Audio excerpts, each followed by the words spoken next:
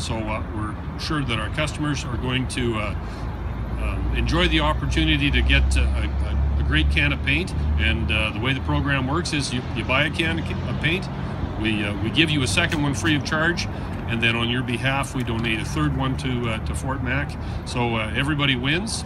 And as I said earlier, we're, we're very happy about this opportunity. Thank you.